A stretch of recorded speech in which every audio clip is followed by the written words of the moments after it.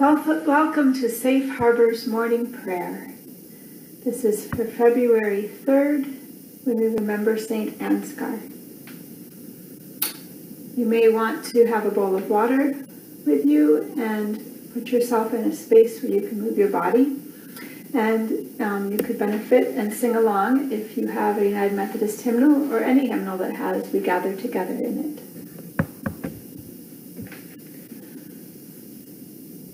Worship Adonai in the beauty of holiness. Come, let us adore them.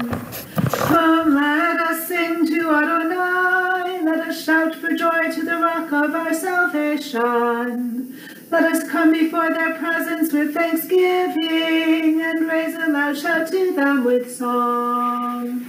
Worship Adonai in the beauty of holiness. Come, let us adore them. For Adonai is our great God, the only true sovereign of this world. In their hands are the caverns of the earth, and the heights of the hills are theirs also. The sea is theirs, for they made it, and their hands have molded the dry land. Worship Adonai in the beauty of holiness. Come, let us adore them. Come, let us bow down and bend the knee and kneel before Adonai our Maker. For we are theirs, we are the people of their pasture and the sheep of their hand. Oh, that today you would hearken to their voice. Worship Adonai in the beauty of holiness. Come, let us adore them. Take some water. Feel its coolness. Think of how refreshing it is on a hot day when we're thirsty. Be thankful for its properties for washing. And remember that this is a symbol of God's grace, God's love, God's mercy, available to us without price. Remember baptism and be thankful. By word and water, God renews us this day in the living fountain of God's grace and raises us with Christ Jesus to live a new life in the Spirit. Satisfy us in the morning with your steadfast love, O God, that we may sing for joy and be glad all our days.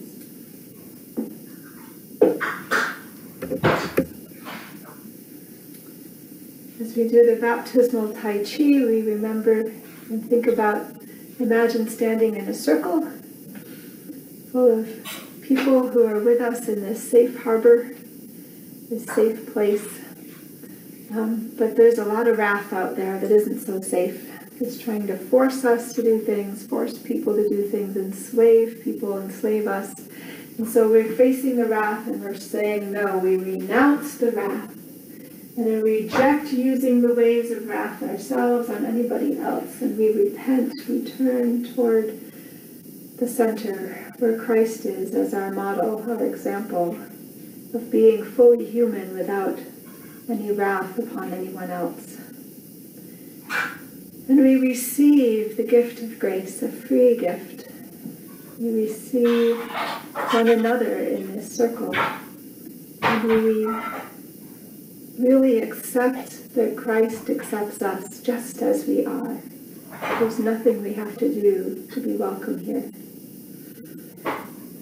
And we receive Christ who is very close to us, that the Spirit of God is as close as our very breath. So we're going to breathe deeply of that Spirit. Be still and know that God is right here. Be still and know God's presence with you. Breathe in the Father and breathe out love. Breathe in Jesus. Breathe out light. Breathe in the Spirit.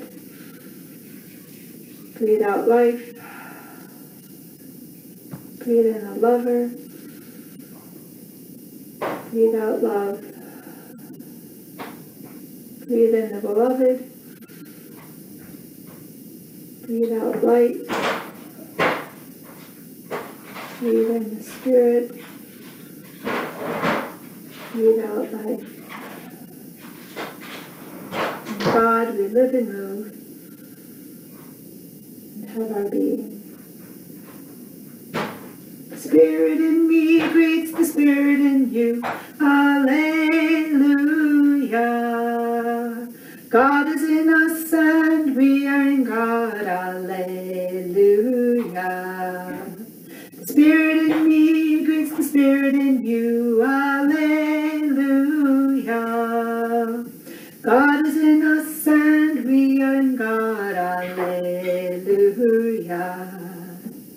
Spirit in me greets the Spirit in you. Alleluia.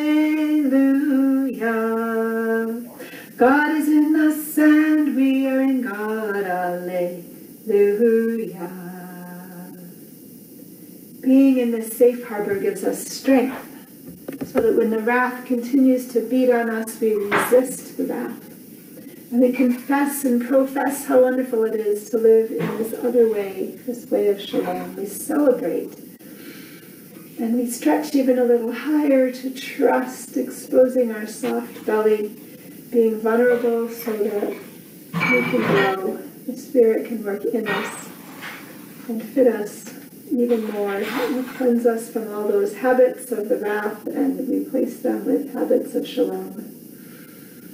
And we are opening ourselves up to that process that God will do in us when we trust. Search me, O God,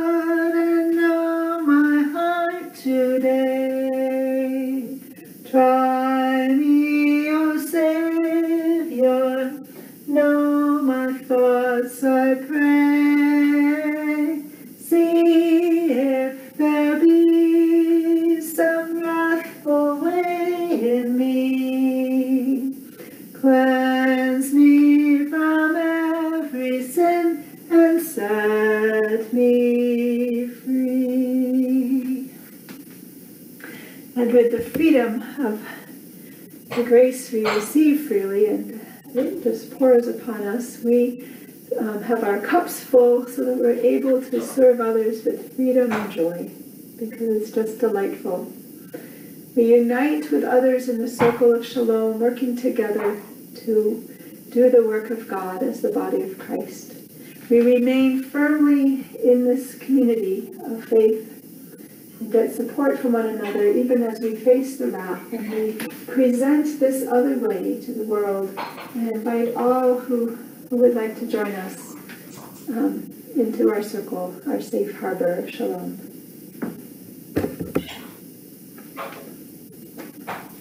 Psalm 96.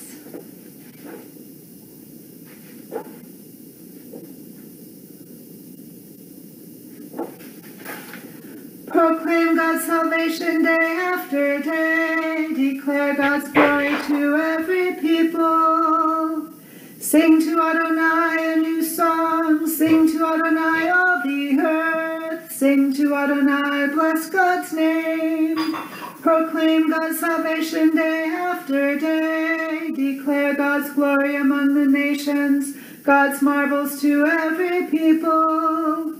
Adonai is great, most worthy of praise. Adonai is to be revered above all gods. The God of the nations are nothing. They don't exist, but Adonai created the universe. In God's presence are splendor and majesty. In God's sanctuary, power and beauty. Pay tribute to Adonai, you tribes of the people. Pay tribute to the God of glory and power. Pay tribute to the glorious name of Adonai. Bring out the offering and carry it into God's courts. Worship Adonai, majestic in holiness. Tremble in God's presence, all the earth. Say among the nations, Adonai reigns supreme. The world stands firm and unshakable. Adonai will judge each nation with strict justice. Let the heavens be glad, let the earth rejoice. Let the sea roar and all that it holds. Let the fields exult and all that is in them. Let all the trees of the forest sing for joy at the presence of Adonai, for God is coming. God is coming to rule the earth, to rule the world with justice and its peoples with truth. Glory to you, O Trinity, most holy and blessed, one God, now and forever. Amen. Proclaim God's salvation day after day. Declare God's glory to every people.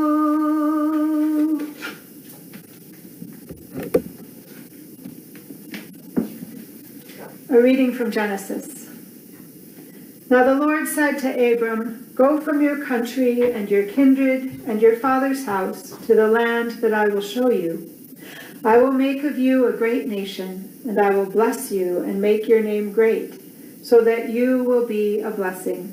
I will bless those who bless you, and the one who curses you I will curse, and in you all the families of the earth shall be blessed.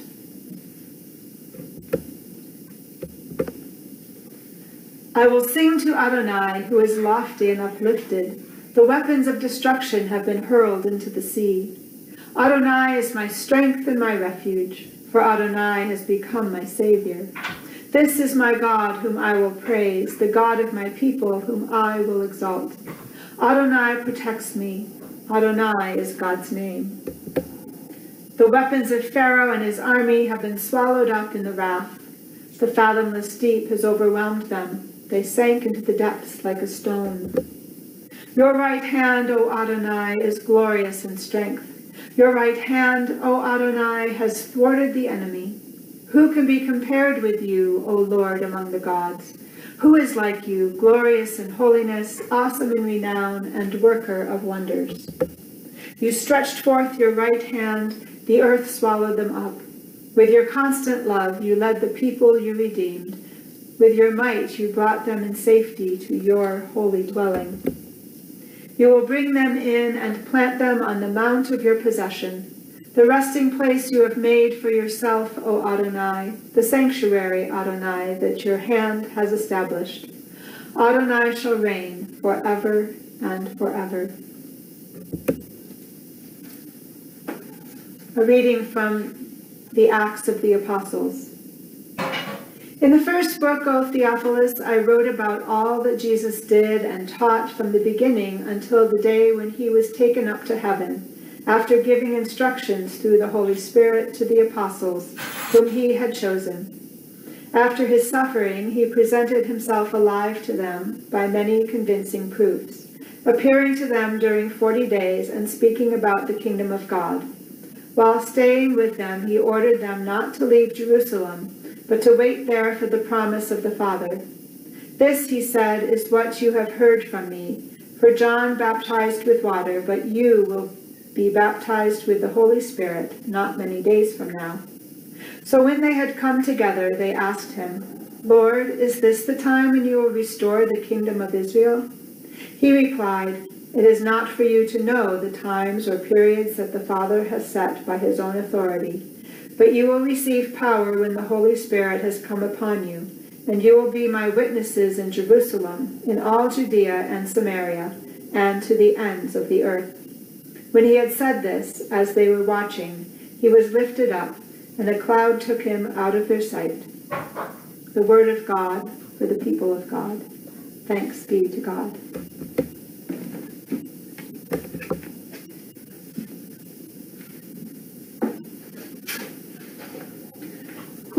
Glory to God in the highest, and peace to God's people on earth. Adonai, heavenly sovereign, almighty God and Father, we worship you, we give you thanks, we praise you for your glory. Glory to God in the highest, and peace to God's people on earth. Adonai, Jesus Christ, only Son of the Father. Adonai, Lamb of God, you take away the sin of the world. Have mercy on us. You are seated at the right hand of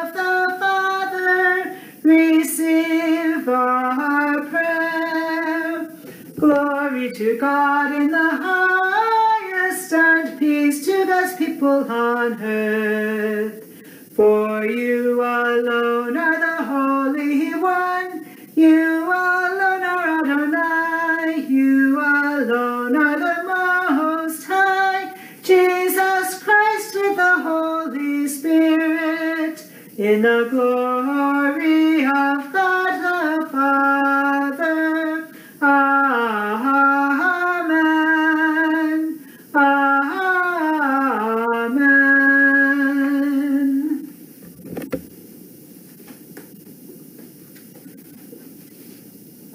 Saint Ansgar, February 3.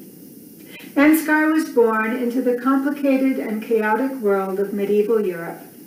From about 750 until Charlemagne's death in 814, military strength and the power of the Church united the Holy Roman Empire, including modern-day France, Germany, Italy, and Spain. But this kingdom quickly began to dis- disintegrate. Control of the vast territories of Western and Central Europe could not be sustained, due at least in part to the problems inherent in overseeing such a large area, resulting in economic, political, and social weaknesses. Even as collapse became inevitable, Louis the Pious, Charlemagne's son, continued to attempt expansion through military might and the Christian conversion of pagan peoples. With the support of Louis, Ansgar, a Benedictine monk, went to Denmark and Sweden in several unsuccessful attempts to create a Christian following. Does one evaluate a Christian by the number of converts or by success in establishing a mission in pagan lands? By such measures, Ansgar was a failure. To be sure, there were a few converts. However, even with the continued support of Louis the Pious and Ansgar's missionary efforts, the people by and large returned to pagan worship.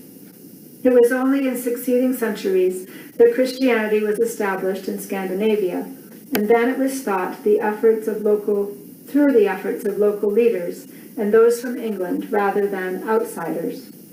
Yet much can be said for Ansgar, even in the face of his failure to spread Christianity. Here was a Christian who left his mark on major cities of his time. He became a monk at Corbie Monastery in Picardy, an ancient province of France.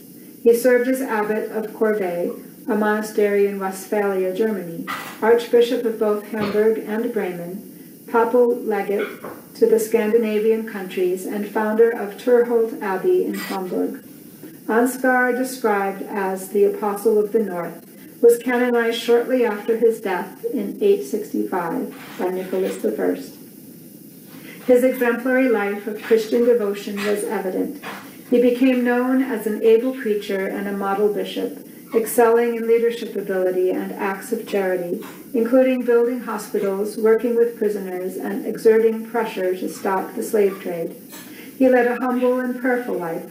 Ansgar rejected adulation as a wonder worker and answered admirers with, Were God to choose me to do such things, I would ask him for one miracle only, that by his power he would make me a good man.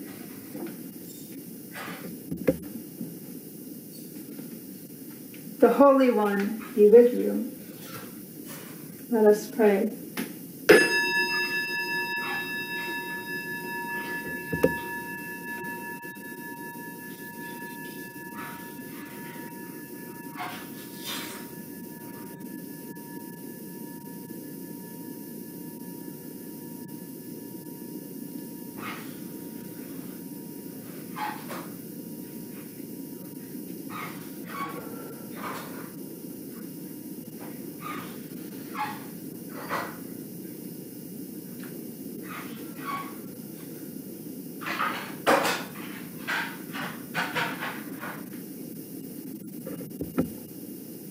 Our Father in heaven, hallowed be your name. Your kingdom come, your will be done on earth as it is in heaven.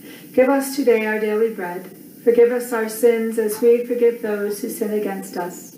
Save us from the time of trial and deliver us from evil. For the kingdom, the power, and the glory are yours now and forever. Amen. Show us your mercy, Adonai, and grant us your salvation. Clothe those who freely serve with righteousness. Let your people sing with joy. Give peace, Adonai, in all the world, for only in you can we live in safety. Adonai, keep this nation under your care. Let, and guide us in the way of justice and truth. Let your ways be known upon earth, your saving health among all nations. Let not the needy Adonai be forgotten, nor the hope of the poor be taken away. Create in us clean hearts, O God, and sustain us with your Holy Spirit.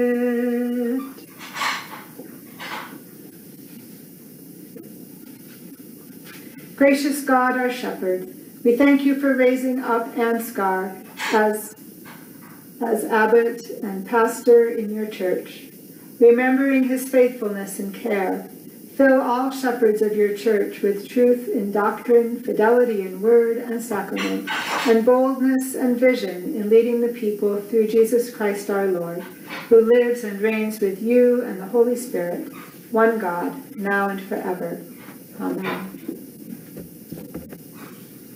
Let us set our intentions for the day. Today I will pay attention so I can see Jesus at work all around me, be Jesus for someone else, and trust that when I mess up, God's steadfast love and grace is right there for me. I can choose my attitude. I can look for an opportunity, and we can find a way forward together. Almighty God, you have given us grace at this time with one accord to make our common supplication to you. And you have promised through your well-beloved Son that when two or three are gathered together in his name, you will be in the midst of them. Fulfill now, Adonai, our desires and petitions as may be best for us, granting us in this world knowledge of your truth, and in the age life to come. Life everlasting. Amen.